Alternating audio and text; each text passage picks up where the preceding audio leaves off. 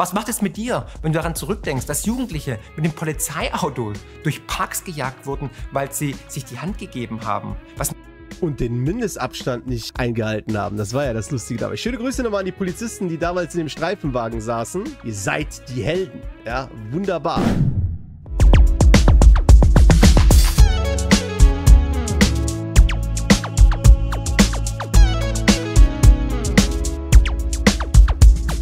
Denn wir werden uns jetzt über Karl Lauterbach unterhalten, beziehungsweise mit Karl Lauterbach beschäftigen. Wir schauen uns jetzt nochmal seine größten Fehler an, ja, und wo er nachweislich sogar gelogen hat, wo er einfach seine wunderbaren Fehlanalysen betrieben hat. Und wir schauen uns das nochmal an, was Lauterbach da so fabriziert hat. Und los geht's. Das ist die Seuche unserer Zeit. Verrückte führen Blinde.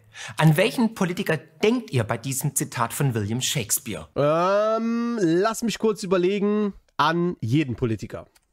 Man könnte natürlich an diese Person denken, aber sind wir uns doch mal alle einig, wir alle denken nur an ihn, an Karlatan. Ladies, oder? Seid ehrlich. Komm, sei ehrlich, liebe, liebe Ladies da draußen, oder? Das ist doch wirklich. Hier, komm, ich will, dass ihr das nochmal alle genießt. So. Lasst es auf euch wirken. Ah, hey. Ja, ich, ich finde, wisst ihr, was, was ich das große Problem bei der ganzen Geschichte finde? Ich glaube, dass Lauterbach Potenzial gehabt hätte als Comedian, so als Comedy-Schauspieler, sowas. Ich glaube, Karl Lauterbach hätte richtig Karriere machen können als Schauspieler. Also abseits des Polizschaffen, da ist er ja auch als Schauspieler unterwegs, aber ich meine das wirklich ernst, der hätte richtig Karriere machen können, wenn er so Schauspieler geworden wäre. So, und man ihn so in misslichen Situationen gesehen hätte und am Ende schafft er es dann immer da rauszukommen oder so. Ja, wenn er kein Politiker geworden wäre, glaubt es mir, der wäre ein richtig äh, guter Schauspieler geworden. Schade. Er hätte Potenzial gehabt, das sage ich euch.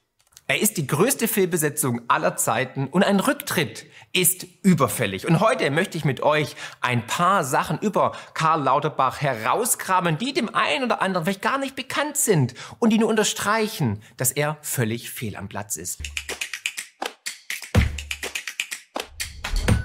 Nicht nur ich nenne Karl Lauterbach Karlatan, sondern auch der Journalist Thomas Kupo. Und der hat einen investigativen Artikel geschrieben mit dem Titel Der Karlatan. Was es damit auf sich hat, darüber werden wir natürlich gleich sprechen. Karl Lauterbach ist wohl der umstrittenste Politiker in Deutschland. Er ist eng verbunden mit der deutschen Corona-Politik. Ich weiß nicht, ob du es weißt, aber der Gesundheitsminister wurde einst als überführter Schelm entlarvt, wie die Welt in einem Artikel mit dem Titel Der dunkle Fleck in Lauterbachs Vergangenheit enthüllte. Basierend auf der investigativen investigativen Arbeit von Thomas Kubo in seinem Artikel Der Karlatan.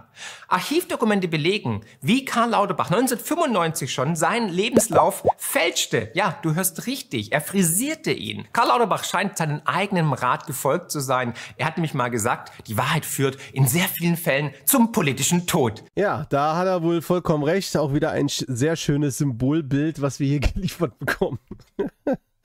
Ja, ähm, was ich dann aber auch äh, noch eben darauf hinweisen wollte, ne, also die Mainstream-Medien, wie jetzt Welt in dem Fall, die berichten ja auf jeden Fall schon mal. Das ist wirklich so, wo man ganz offen und ehrlich sagen muss, dass sie aber eine Paywall dazwischen machen. Ist das schon mal aufgefallen? Die machen das sehr, sehr gewitzt. Die berichten so, dass immer eine Paywall da ist, dass die Leute dafür bezahlen müssen. Ne? Also die, die lassen das dann in der Regel immer so, man kann schon fast sagen, so hinter verschlossenen Türen, nur jeder, der den Schlüssel hat, darf mal rein und darf sich dazu was angucken. Aber dass sie das so frei für jeden zur Verfügung stellen, ja, das ist dann schon so eine Sache für sich, ne? Dass das irgendwie nicht gemacht wird, weil es soll dann scheinbar doch der Mainstream da draußen, also die meisten Menschen sollen dann doch nicht alles sehen. Ja, Herrschaftszeiten. Und das passt ja wie die Faust aufs Auge, denn das Narrativ um Corona bröckelt ja an allen Ecken und Enden. Es war eine große Lüge. Wir alle wurden jahrelang an der Nase herumgeführt. Zu den RKI-Files brauche ich gar nichts mehr sagen. Ich habe dazu Videos gemacht. Und wenn du zum ersten Mal hier bist und mich unterstützen möchtest, freue ich mich natürlich über ein Abonnement. Aktiviere unbedingt die Glocke, dann wirst du immer informiert über neue Videos. Und du kannst mich auch monetär unterstützen als Kanalmitglied. Weitere Informationen natürlich hier in den Shownotes. Fauci wurde jetzt in den USA entlarvt, nämlich wir alle wussten es schon vor Jahren, weil ich habe ja mit Roland Wiesendanger Videos dazu gemacht dass das Coronavirus eben nicht irgendwie von einem Tiermarkt in Wuhan ausgebrochen ist, sondern aus einem Labor gekommen ist, nämlich dem oh. Wuhan Corona Labor. Ja, du hörst richtig, Name ist Programm.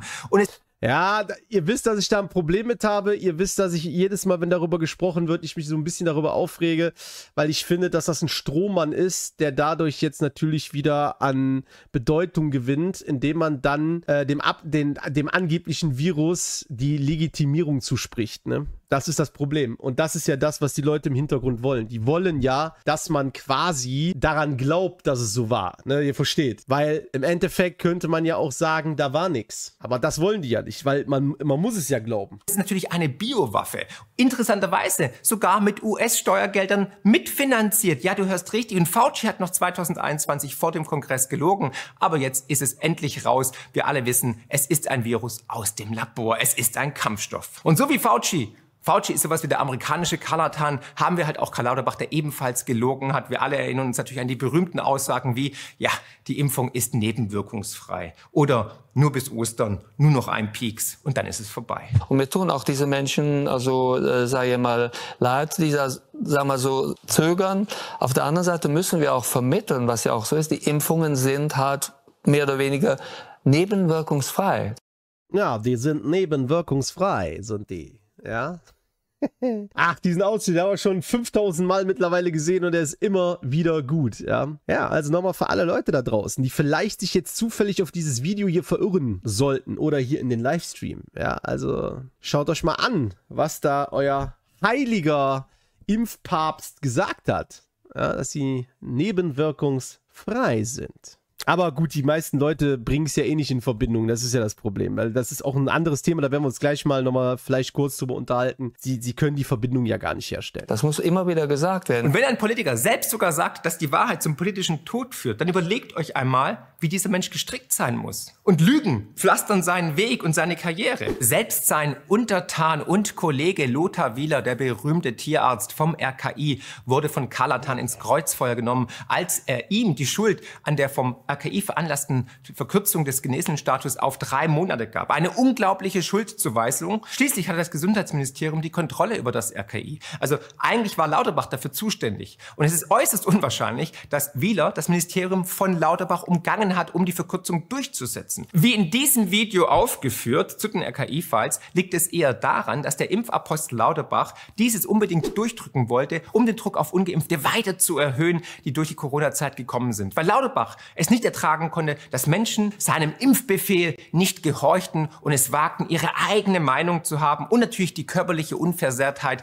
als Grundrecht zu verteidigen. Wie konnten sie es auch wagen, dem Impfmessias zu widersprechen? Lauterbach ist aber nicht nur ein Karlatan, nein, er ist auch ein Blender. Er hat zum Beispiel Studienergebnisse fehlinterpretiert. Er war ein Verfechter von Impfpflichten, strikten Kontaktverboten und drängte sogar auf die Impfung von fünf bis elfjährigen Kindern. Nochmals, für einen ja. nicht wirklich geprüften, überprüften Impfstoff für die nach seiner eigenen Meinung sogar die Impfung nicht die Erkrankung eine Gefahr darstellte. Muss man sich mal überlegen. Und aus all diesen Gründen ist er zweifellos eine unheilvolle Figur, der niemals das Amt des Gesundheitsministers hätte bekommen sollen. Sein Lebenslauf sind geprägt durch nachgewiesene Schummeleien, durch Lügen und durch Blenden. Was kaum jemand weiß, ist ja, dass er vor einigen Jahren sogar umstrittene Diätmedikamente empfohlen hatte. Ob da ja, das, äh, das stimmt. Und das ist äh, so, was Dr. Gunther Frank auch gesagt hatte.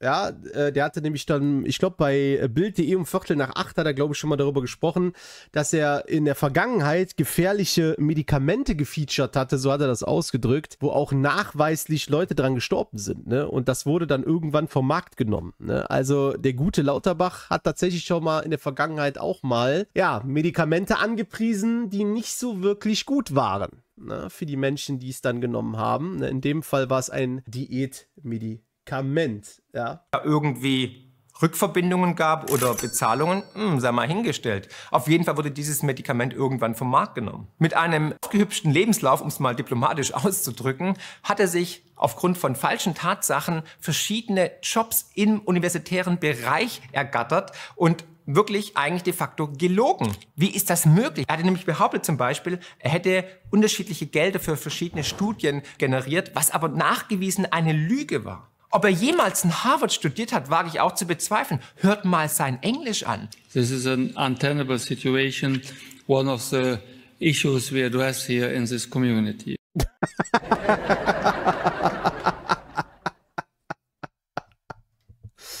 okay. Ja, also, ihr hört jetzt anhand äh, des wunderbaren, vor allen Dingen auch akzentfreien Englisch von äh, Karl Lauterbach, dass er auf jeden Fall da studiert hat. Natürlich hat er da studiert, in Harvard. Klar, natürlich. Was denkt ihr denn? Auf jeden Fall. Das äh, wollen wir hier mal nicht anzweifeln. Vielleicht war er eingeschrieben, aber wir waren nie dort. Ob er überhaupt irgendwas.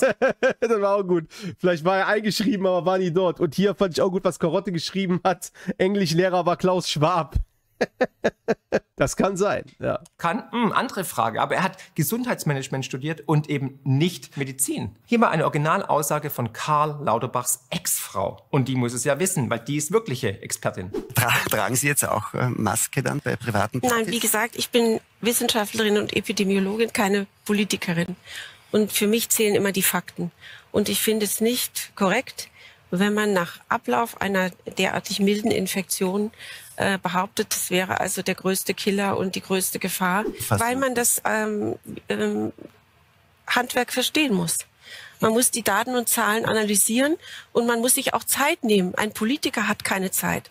Der lässt sich, der lässt sich äh, auf alle möglichen Themen ein und muss in dieser Talkshow und in jener Talkshow äh, über Bildungsfragen genauso sprechen wie über Corona.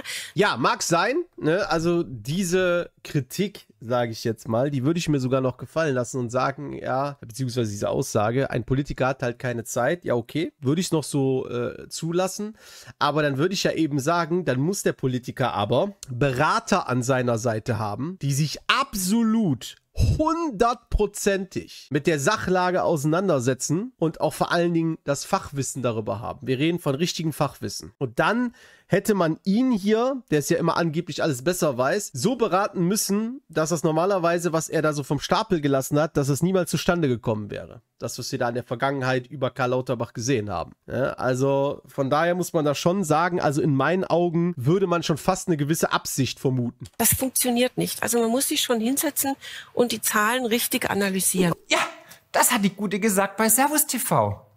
Danach ist sie nie wieder aufgetreten. Das Problem der deutschen Politik ist, dass wir eine unglaubliche Negativauslese erleben. Wie kann es sein, dass jemand, der keine Schulausbildung hat, der nichts gelernt hat, tatsächlich bestimmt, wie wir unser Leben zu leben haben? Das ist eine Hybris, eine unglaubliche Arroganz. Mein Vorschlag nach wie vor Amtszeitbegrenzung und natürlich das Politikergehalt an das vorherige Gehalt knüpfen. Weil dann hätten wir die ganzen Leute aus den Universitäten, die nichts, niemals gearbeitet haben, eben nicht da, weil dann wäre ihr Lohn null. Da hätten die gar ja. keinen Antrieb dazu. Dann müssten die nämlich ehrenamtlich arbeiten. Ja, richtig. So müsste man das mal machen. Und dann wären nämlich die ganzen Ungelehrten, die im Vorfeld nichts gemacht haben und einfach Politiker werden, wären, dann würden sie nämlich nichts verdienen. Ne? Und dann hättest du nämlich auch solche Menschen in diesen Positionen nicht. Und von mir aus können die dann Millionen verdienen, wenn es dann irgendwie ein erfahrener Manager ist oder ein Unternehmer oder was auch immer. Gar kein Problem. Aber diese Negativauslese, Fehlbesetzung, die wir momentan erleben, ist einfach nicht mehr tragbar und wird uns leider immer mehr Wohlstand kosten. Lauterbach ist ein manipulativer Karrierist, der Politik betreibt, als ob er kein Gewissen hätte. Ich meine, dass wir Pfizer-Geheimverträge haben, geschenkt. Aber dass die RKI-Files zum Großteil geschwärzt sind, zeigt doch, dass man hier nicht mit offenen Karten spielt. Und die Entschwärzungen der RKI-Files belegen, wie skrupellos Carlatan während Corona agiert hat. Die Bundesregierung hat in einem Schreiben an den Frankfurter Arzt Christian Hafner wichtige Passagen aus den eingeklagten Protokollen des Corona-Expertenrats entschwärzt. Und siehe da, aus den Entschätzungen geht hervor, dass unter anderem Karl Lauterbach dem Gremium im Winter 2021 vorschlug, Ungeimpften den Zutritt, jetzt ich fest, zu Restaurants und Einkaufsläden vollständig zu verwehren. Selbst wenn diese Personen den amtlich anerkannten Genesenstatus hätten nachweisen können. Man wollte die Menschen auf höchstmögliche Art aus dem gesellschaftlichen Leben ausgrenzen, sie für vogelfrei erklären und eigentlich so massiv unter Druck setzen, damit sie endlich in die heilbringende Spritze pff, reingetrieben werden. Ja, nicht nur das, sondern man wollte die Leute natürlich auch hörig trimmen. Quasi, dass die Leute sich daran gewöhnen und dass sie ein so gesehenes neues Lebensprinzip annehmen. Ja. Und man hat ja auch bewusst für Spaltung gesorgt. Ich meine, man hat es ja selber gemerkt, man hat die äh, Ungeimpften ganz klar von den Geimpften auch getrennt. Das war auch politisch zu beobachten, wie das auch von oben ganz klar, ja, ich sag mal, gesteuert worden ist. Ne? Und die Leute haben natürlich, die an all das geglaubt haben, brav mitgemacht, haben sich natürlich immer über die Leute aufgeregt. Und es sind Idioten, die immer noch ungespritzt durch die Gegend laufen. Die wissen ja nicht, was die tun. Die sind ja eine Gefahr für uns. Und tralala, die, die halten den ganzen Laden hier nur auf. Ihr kennt ja diese ganzen Sprüche. Und man hat ja auch bewusst gespaltet oder gespalten. Und äh, das hat ja schon alles seinen Sinn und Zweck damals gehabt. Ja, Gut, man redet von damals, als ob es schon 50 Jahre her wäre, so lange ist das Ganze noch gar nicht her. Und jetzt, ich sage es immer wieder an der Stelle, ist es auch sehr lustig zu betrachten, ja, dass quasi, und das finde ich noch lustig, die Leute, die da brav mitgemacht haben und die auch zu 100% dahinter standen, das hat sich ja jetzt alles um 180 Grad gedreht, also wirklich alles. Und die wissen ganz genau, dass sie einen ganz großen Fehler gemacht haben. Ja, und das äh, erkennen wir aktuell halt bei den Menschen ja, dass die ihren Kopf in den Sand stecken oder versuchen mit absolut abstrusen Erklärungen dagegen, dagegen zu argumentieren, wo man sich echt die Frage stellt, äh, ja, woher hast du denn das jetzt bitte? Also das gleicht sich ja mal so gar nicht mit der Realität ab. Also es ist schon so ein leichtes Geschwurbel, was du da an den Tag legst, das muss man schon sagen. Also eher so Wunschdenken kann man sagen. Wie asozial geht's eigentlich noch? Das ist unmenschlich, das ist faschistoid. Was ist deine Meinung dazu? Schreib's mal in die Kommentare. Ich ich finde es unfassbar, ich bin fassungslos. Gut, der Vorschlag wurde schließlich nicht umgesetzt, aber dass man überhaupt so krank denken kann, wie ideologisch dogmatisch muss man sein, um Menschen sowas anzutun? Es ist unklar, welche Experten im RKI oder im Gesundheitsministerium Lauterbach von seinen radikalen Ideen abbrachten oder ob er sich selbst korrigiert und Einhalt gebot. Im Protokoll des Expertenrats vom 28. Dezember 2000. Ich dachte gerade, wann war das? Geht bei, geht bei denen die Lichter aus? Was ist das gerade? War ein komischer Übergang gerade. Da habe ich so gedacht, bei dem fällt gerade das Licht aus hier in dem Studio oder in dem Zimmer, wo der aufnimmt. Sich selbst korrigiert und Einhalt gebot. So, komisch, ne? Der Übergang war schon ein bisschen komisch gerade so.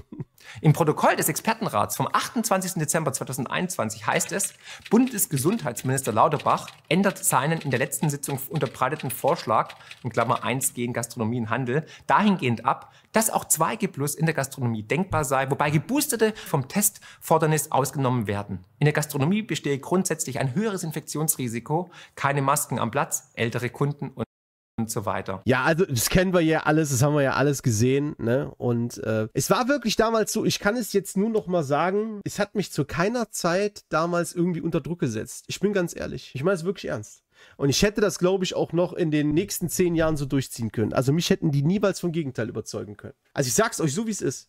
Ja. Also, wenn ich in kein Restaurant mehr reinkomme, da sage ich ganz klar, interessiert mich nicht. Dann koche ich halt immer selber dann brauche ich in kein Restaurant reinzugehen. Da, da bin ich ganz rigoros. Da sage ich, ey, ganz ehrlich, macht da eure Sache. Ja, wenn ihr der Meinung seid, euch daran halten zu müssen, dass ihr in der Gastronomie ungeimpfte Leute aussperrt, ja, oder eher gesagt, ungebratwurstete Leute aussperrt, dann ist das okay. Dann macht das. Ja, ihr werdet mich dann sowieso niemals wiedersehen. Und dann, dann ist doch okay dann macht das so. Und auch, ich, auch was andere Dinge angeht, das wäre mir egal gewesen. Sollen sie machen. Hier, dass ich in keinen Klamottenladen mehr reinkomme. Oh, Hilfe. Oh, das ist aber jetzt, das ist, oh, das ist aber schade. Ja, interessiert mich doch gar nicht. Dann bestelle ich einfach im Internet, lass das liefern und fertig. So, ja. So, und äh, Supermarkt, Supermarkt hätte es eh niemals gegeben. Und ja, und wenn es im Supermarkt so gewesen wäre, hätte ich mir das Essen einfach liefern lassen. Ganz einfach. So, so einfach geht das. Also, wie gesagt, mich hat es zu keiner Zeit interessiert. Mich konnten sie zu keiner Zeit erpressen. Und ich fand das einfach nur noch lustig, das Ganze. Und ich habe mich da auch sehr drüber amüsiert. Und ihr seht ja, das Ganze hat auf Dauer nicht funktioniert. Und es wird auch so in dieser, ich sag mal, Hülle und Fülle nicht mehr funktionieren, wie es damals funktioniert hat. Obwohl man immer dazu sagen muss, die Dummheit der Menschen ist grenzenlos, ich weiß, aber ich glaube nicht, dass es nochmal so funktioniert. Und ihr wisst ja, wer saß, war sicher. Wenn man aufstehen wollte, um zu Klo zu gehen, musste man die Maske tragen. Ja, ja, ja. Es war eine irre Zeit, es war auch ein Intelligenztest. Und nachdem Lauterbach Klar. bei den Experten mit seiner drakonischen Regel offenbar nicht durchgekommen war, verkürzte das RKI zufälligerweise im Januar, also einen Monat später, 2022, schließlich den genesenen Status von sechs auf nur drei Monate. Ein Schelm, wer Böses dabei denkt. Ja, nochmal ein bisschen den Druck erhöhen auf die Ungeimpften, damit das Leben noch schwerer wird. Weil auf einmal waren alle Genesenen Bürger zweiter Klasse. Obwohl es etliche Daten und Fakten gab, die zeigten, dass ein Durchmachen der Krankheit eine deutlich bessere Immunität gewährleistete. Und da möchte ich auch nochmal darauf hinweisen, dass ich das auch im Spiegel Streitgespräch mit Peter Bofinger damals sagte, dass die Herdenimmunität natürlich viel besser sei als, als eine neue Impfung, die wirklich nicht nachweislich getestet wurde. Was habe ich da für einen Shitstorm bekommen? Ich weiß nicht, ob der Spiegel mich noch einlädt. Schreibt den mal und fragt mich nochmal zum Streitgespräch mit Bofinger einladen. Der hat auch gesagt, Bitcoin ist ein Scam und ist ein Monopoly-Geld und wird auf Null fallen.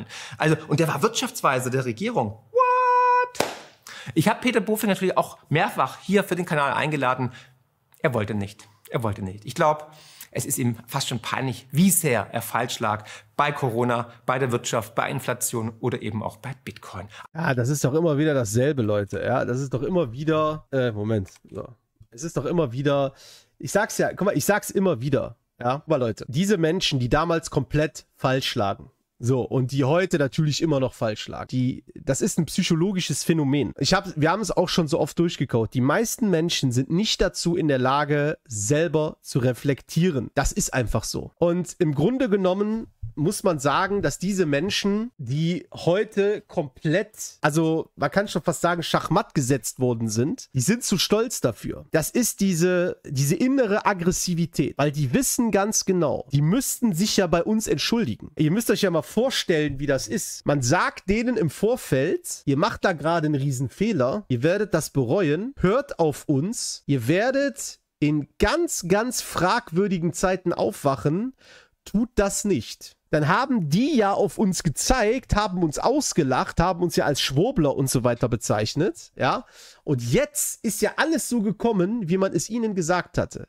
Und die Hemmschwelle ist so gigantisch groß wie so eine Mauer. Die können aus Scham nicht mehr über die Mauer klettern, um zu uns rüberzukommen und sich ehrenvoll bei uns zu entschuldigen, weil das diese psychische innere Blockade dieser Menschen ist. Das, das Krasse ist, dass diese Leute so innerlich getriggert sind und die haben so eine innerliche Belastung, dass die Stadt zu allem zu stehen und zu sagen, es tut mir leid, mir hat man da einen Bären aufgebunden kommen sie immer wieder und versuchen dann immer noch, obwohl sie längst verloren haben, sie liegen 100 zu 0 in der 90. Minute zurück. Sie können diese Tore gar nicht mehr aufholen und versuchen dann trotz alledem immer noch irgendwie zu argumentieren, dass das doch richtig war und vor allen Dingen so billig und verrückt, dass man, wenn man das liest, so denkt, äh, äh, äh, hä, was? Die wurden nach allen Regeln der Kunst auseinandergenommen und trotzdem versuchen die ihre Niederlage nicht zu akzeptieren oder wollen sie es auch nicht und fangen dann denjenigen an zu diskreditieren und zu beleidigen, der,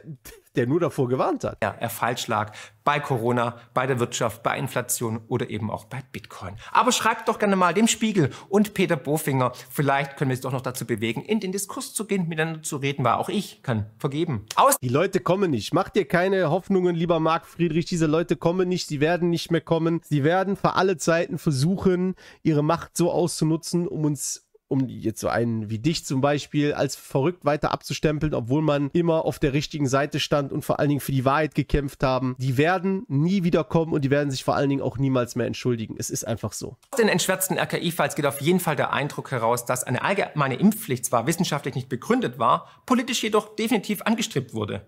In dem Protokoll heißt es zum Beispiel, eine Impfpflicht nur für ältere Menschen wird kritisch gesehen, da es ein falsches Signal für alle anderen Altersgruppen sein könnte. Also nach dem Motto, dass sie keine Impfung mehr bräuchten. Eine weitere Entschwärzung zeigt, dass der Schutz vor einer Omikron-Infektion durch einen Booster bei weitem nicht so hoch war, wie in diversen Booster-Kampagnen und Propagandashows behauptet wurde. Am 4. Januar 2022 schon notierte das Protokoll, eine neue Haushaltskontaktstudie aus DNK, also aus Dänemark, zeigt, dass die mRNA-Boosterimpfung einen 46-prozentigen Schutz vor Infektionen Infektion mit Omikron biete, die zweifache Impfung jedoch nicht. Am 9. Februar wurde dann schließlich über die Impfpflicht beraten und diskutiert. Hier liest man Folgendes in den Protokollen. Auf der Datenbasis von Umfragen stagniert die Impfkampagne. Der Anteil der Impfgegner bleibt konstant. Ungeimpfte bleiben demnach weiterhin eher skeptisch gegenüber einer Impfung. Anreize werden hier nicht reichen. Eine Guck mal, ne? Ich schwör's, ey, ganz ehrlich, es ist so unfassbar. Hier, ne? Es ist, ist wirklich krass. Das Wort hier, hinter, hier hinter mir ist es hier. Impfgegner. Es wirklich, es ist so peinlich, das Ganze, uns immer noch so zu diskreditieren. Es ist einfach nur sowas von peinlich. Ne? Wirklich Leute dann auch noch mit so einem schmälernden Begriff zu bezeichnen. Es sind ja Gegner. Versteht ihr? Das Wort Gegner ist einfach da drin. Dass wir Gegner sind. Ja, wir sind Skeptiker. Ja, ist auch so, weil wir das Vertrauen in diese Stoffe verloren haben. So, und da haben wir guten Grund zu. Ja, aber Skept, also äh, Gegner, Gegner sind wir. Es ist wirklich unglaublich. Da fehlt nur noch der Satz Querdenker. Ne?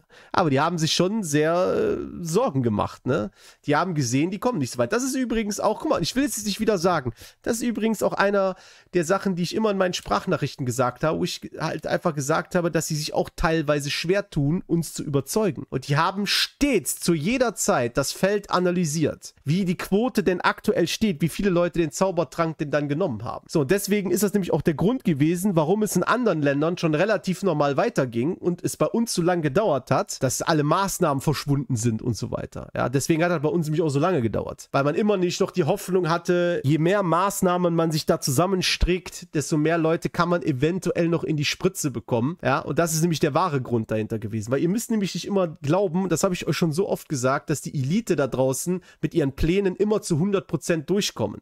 Auch die machen Fehler, auch die analysieren nicht immer alles bis ins kleinste Detail, sodass ein Plan, der dann mal steht, zu 100% immer so aufgeht. Weil er ist nämlich nicht zu 100% aufgegangen. Weil ich sag euch so, wie es ist, die Quote hier in Deutschland wird nicht so hoch sein, wie sie sich am Anfang, ja, vielleicht zusammengesponnen haben oder wie sie das erwartet haben. Das sage ich euch so, wie es ist. Es gab nämlich dann doch am Ende des Tages mehr Widerstand so in Bezug auf den heiligen Zaubertrank, wo, wo sie, mit wo sie niemals mit hätten gerechnet. Ja, tolles Deutsch gerade. Wo sie niemals mit gerechnet haben. So, und darum geht es nämlich. Ja, sie haben einige Leute da reingetrieben, ist richtig, aber eben nicht so viele, wie sie sich versprochen haben. Da muss man auch mal ehrlich sein. Und deswegen sage ich ja aktuell, ich sage es hier nur nochmal, einmal, deswegen sage ich, das Momentum für eine Wiederholung dieser Zeit ist aktuell immer noch nicht gegeben und wird auch so schnell nicht kommen, weil man damit kein Geld verdienen kann mit den Zaubertränken. Weil man nämlich aktuell eine wirklich große kritische Masse vor sich hat und das werden die Leute so schnell nicht nochmal tun. Deswegen sage ich hier ganz klar, ein weiteres Mal wird es so schnell nicht mehr geben. Beratung und Öffentlichkeitsarbeit werden trotzdem weiterhin als notwendig und wichtig erachtet. Zusätzlich muss man sich auch mit der Gruppe von Ärzten auseinandersetzen, die eine Impfung ablehnen, da Empfehlungen von Ärzten im Allgemeinen sehr deutlich wirken. Heißt, man muss die Ärzte entweder monetär anlocken oder noch mehr unter Druck setzen, damit sie auch wirklich dem letzten Patienten sein Vertrauen missbrauchen und zur Impfung raten. Im Übrigen, mein Fazit, wie auf dem Zettel der Apotheke hier. Im Übrigen halte ich Karl Lauterbach für untragbar. Er muss zurücktreten. Ich werde immer als Crash-Prophet diskreditiert, diffamiert. Dabei sind viele meiner Prognosen eingetroffen. Hey, guckt mal raus. Inflation, Geopolitik, Bitcoin, Gold, Uran etc. pp. Aber einer der größten Blender und Karlatane, die Deutschland jemals gesehen hat, einer der größten Panikmacher, der wirklich ein Crash-Prophet ist und morgen geht die Welt unter, genauso wie die Klimahysteriker, es aber nicht passieren wird, keine Sorge, der kann doch nicht Gesundheitsminister sein. Was macht es denn mit der Gesundheit, mit der mentalen Gesundheit, mit der seelischen Gesundheit der Menschen Exakt. da draußen, wenn sie ständig in Angst sind? Angst vor einem Virus aus dem Labor, Angst vor seinen Mitmenschen, Angst vor seinen Liebsten. Wir müssen uns spalten. What the f All das ist in sich zusammengebrochen. Und trotzdem ist dieser Mensch noch Gesundheitsminister und wird von uns bezahlten Steuergeldern und sitzt in den Talkshows, um seinen Unsinn loszuwerden. Ja, das habe ich ja auch schon öfters mal erwähnt, ja, dass diese ständiges, dass das ständige Angst erzeugen, ja, genau eben zum Gegenteil führt. Ja, man redet ja immer davon, ja, man ist ja nur zum Schutze der Bevölkerung, wir sorgen uns um ihre Gesundheit und man versucht immer irgendwelche apokalyptischen Vorhersagen zu unterbreiten. Vor allen Dingen jetzt auch aktuell. Ja, das muss man ja aktuell sehen. Der Höllensommer steht bevor. So heiß wie noch nie zuvor. Das ist Immer merkt ihr das in den Medien, immer wieder, es ist so lustig. Immer die nächste Apokalypse ist wieder da. Wir müssen uns schützen. Wir müssen schnellstmöglich über neue Maßnahmen nachdenken. Also, was weiß das? Das merken die Leute gar nicht, wie sie ständig immer wieder in Angst leben, beziehungsweise in die Angst hineinmanövriert werden. Aber das funktioniert mit uns ja zum Glück sowieso nicht mehr, denn das hier, deswegen ist diese Show ja auch da. Deswegen ist diese Internetshow da, um eben den Leuten da draußen auch mal so ein bisschen ihre Angst zu nehmen und dass ihr vor allen Dingen auch mal wieder lachen könnt. Ja, ich hoffe, dass der äh, jetzt der ein oder andere es da draußen endlich mal verstanden hat, dass es hier auch darum geht, einfach mal herzhaft zu lachen. Ja, wenn ich mal aus Versehen einen guten Witz erzähle, ja, da kann man ja auch mal darüber lachen oder generell, wenn wir uns hier den ganzen Wahnsinn hier reinziehen, das ist dafür, um einfach mal aus der Angst zu kommen und einfach mal zu lachen und zu sagen, meine Güte, es ist ja eigentlich eine riesengroße Freakshow. Genau so sieht's aus. Es ist nur Show, Leute. Es ist eine riesengroße Show, die für euch da draußen inszeniert wird. Es ist nichts echt. Ihr sollt nur glauben, dass es echt ist, damit ihr wieder Angst habt. Deswegen kommt aus der Angst raus, beruhigt euch, trinkt einen Tee, ja, und dann geht's euch auch schon wieder besser. Die Sonne scheint, ja, zumindest aktuell nicht, aber da draußen wird es jetzt bald wieder schön scheinen. Ja, legt euch in die Sonne und genießt auch mal das Leben, ohne euch ständig immer in Angst versetzen zu lassen. Dann lebt es sich nämlich schon deutlich besser. Wir sollten eine Petition starten, damit Karl Lauterbach endlich aus dem Amt entfernt wird, damit er zurücktreten muss. Und natürlich auch, wir brauchen eine Aufklärung. Er muss definitiv sich verantworten. Er ist einer der größten Panikmacher, der niemals Gesundheitsminister hätte werden dürfen. Eine Fehlbesetzung sondergleichen. Da haben wir ja einige in der Hampelregierung, wie ihr wisst. Und ich sage jetzt nochmal ganz offen und klar, Herr Lauterbach, bitte treten Sie endlich zurück. Sie sind derjenige, der während der gesamten Corona-Krise ein vehementer Befürworter von Schulschließungen war und sich jetzt öffentlich hinstellt und sagt, na gut, war vielleicht doch nicht ganz richtig, während sein Vorgänger Jens Spahn noch ein Buch schreibt mit dem Titel Wir werden uns viel verzeihen müssen. Die Frage ist, was macht das mit dir, wenn du liest, dass die Leidtragenden deine und meine Kinder waren und die Symptome für Depressionen bei Kindern und Jugendlichen während der Schulschließungen im Schnitt um 75 Prozent gestiegen sind?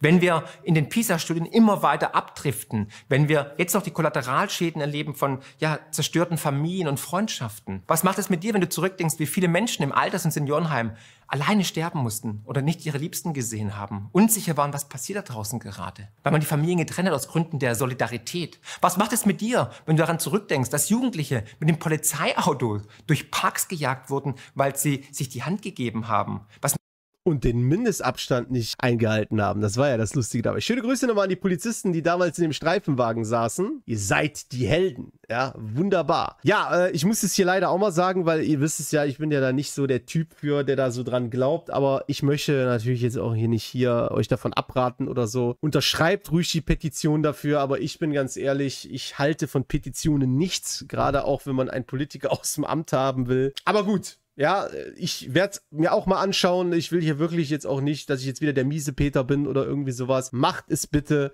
Ja, vielleicht erreichen wir ja mit der Macht der Masse das, dass er vielleicht dann wirklich ausgetauscht wird. Aber ich sage euch so, wie es ist. Ja, ich bin jetzt eh wieder der Schwarzmaler hier, aber er wird nur ausgetauscht, Freunde. Was glaubt ihr denn, wer da kommt? Ja, da wird Karl Lauterbach durch irgendeinen anderen ausgetauscht, der ähnlich kuriose Dinge macht. Aber gut, mehr sage ich dazu nicht. Was macht es mit dir, dass du nicht mal im Park auf einer Bank sitzen durftest, um ein Buch zu lesen? Was macht es mit dir, wenn jetzt herauskommt, dass die Masken eigentlich gar nichts gebracht haben, wir sie aber tragen mussten, wie ein Zeichen der Sklaverei in Zügen, aber vor allem auch die Kinder in Schulen, die Kopfschmerzen hatten und die vielleicht auch irgendwie dachten, was geht hier ab?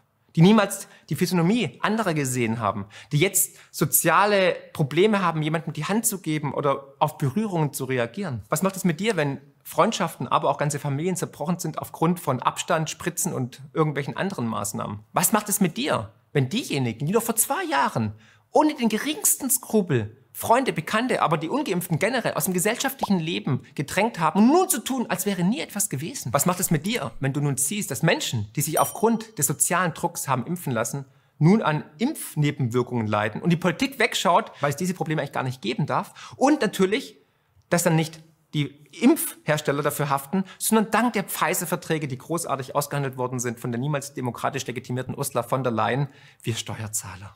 Ja, was das mit mir macht, ehrlich gesagt, macht das gar nicht so viel mit mir, außer dass mich das eigentlich alles nur bestätigt und ich da auch so einen gewissen Seelenfrieden finde.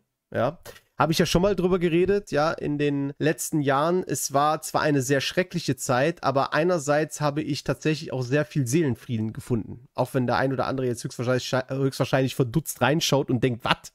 Ja, ich habe sehr viel äh, Seelenfrieden gefunden, weil ihr müsst euch mal so vorstellen, nur wirklich in aller Kürze. Ich bin ja schon ein bisschen länger erwacht und diesbezüglich habe ich ja schon Jahre vorher, vor dem großen Staatsstreich, über viele Dinge geredet. So im privaten Kreise und so weiter. Und ich wurde einfach immer ausgelacht. Grundsätzlich. Und ich wurde immer so ein bisschen als der Verschwörer abgestempelt. Ja, und als dann im Jahre 2020 sie so den Fuß in der Tür hatten ne, und man dann gemerkt hat, oh, okay, jetzt ist es schon ein bisschen was anderes als sonst, habe ich so, je mehr Monate vergangen sind, immer mehr Seelenfrieden gefunden, weil man dann einfach gesehen hat, ja, ich bin wohl doch nicht so der große Verschwörer, sondern es hat alles Hand und Fuß, was ich sage. Und ich wurde dann tatsächlich innerlich, obwohl ich natürlich auch sehr viel Stress hatte, wurde ich aber einerseits immer ruhiger, weil ich einfach einfach für mich gesehen habe, diese ganzen Jahre im Vorfeld waren nicht umsonst, sondern sie haben mich scheinbar auf eine Prüfung vorbereitet, die ich zu bestehen habe. Und deswegen kann ich euch da draußen nur eine Sache mit auf den Weg geben. Höchstwahrscheinlich einer der wichtigsten Lehren, die ihr in eurem Leben haben könnt und es höchstwahrscheinlich auch selber wisst. Aber vielleicht guckt jetzt mal ein junger Zuschauer zu. Vielleicht ist ja mal jemand da, der wirklich sehr jung ist. Ich sag dir eine Sache. Du machst nichts umsonst im Leben. Alles, was du tust,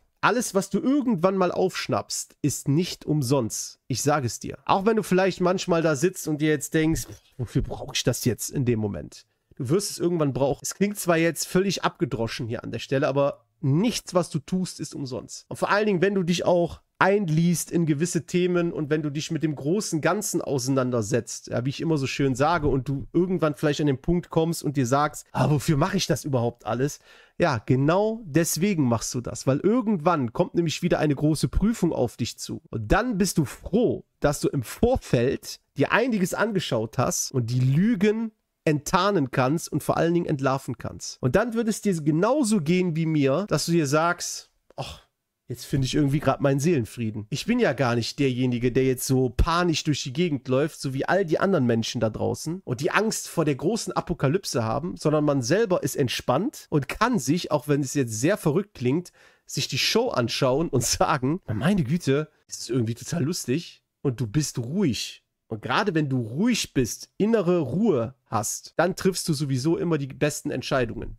Dann machst du nämlich in der Regel keine Fehler. Also denk mal darüber nach und handel vor allen Dingen danach. Was macht es mit dir, wenn jetzt fast jede Verschwörungstheorie wahr geworden ist? Was macht es mit dir, wenn Menschen, die berechtigte Zweifel an Maßnahmen und Impfungen angemeldet hatten, als rechtsdiffamiert worden sind, als Querdenker oder Nazis? Und wenn diese Zweifel sogar ihren Beruf oder ihre Existenz verloren haben? Was macht es mit dir, wenn wahre Wissenschaftler, wahre Experten wie Bhakti, Wordak und Co. Recht behalten haben, dafür aber Monate hinweg als rechtsab gestraft worden sind und sogar des Landes sozusagen fliehen mussten. Was macht es mit dir, wenn du heute Abend ins Fernsehen schaust und keiner dieser Politiker zurückgetreten ist, sondern immer noch da sitzt in einer Selbstgefälligkeit sondergleichen und nur auf die nächste Krise wartet? Bist du bereit zu verzeihen? Bin ich bereit zu verzeihen? Nein. Wir brauchen endlich eine wirkliche Aufarbeitung ja. dessen, was in den letzten zwei Jahren passiert ist. Und dann können wir verzeihen. Das Ganze ist nicht mit einem Buch abgetan oder mit einer kleinen Entschuldigung vor der Kamera. Denn eins ist klar, wenn die letzten Jahre keine Konsequenzen haben, dann werden sie es wieder versuchen. Wir haben gesehen, wie schnell und vor allem, wie leicht es ist, einen Großteil der Menschen in einen Zustand der dauerhaften Angst, der Massenpsychose zu versetzen und mit einem Schlag sämtliche Grundgesetze außer Kraft zu setzen. Und ich werde so lange darüber berichten, bis die Verantwortlichen tatsächlich zur Rechenschaft gezogen werden, um die Gesellschaft wieder zu heilen. Und denkt immer daran, wegen eurem Mut, wegen eurer Standhaftigkeit, wegen eurer Menschlichkeit, wegen den Menschen generell da draußen, wegen wahren Experten, die auch während Corona ihren Mund aufgemacht haben, die Rückgrat bewiesen haben, die auf der richtigen Seite der Geschichte stehen wollten, ist die Welt da draußen immer besser, als wir glauben. Herzlichst, euer Marc. Ja, so sieht's aus. Genau so.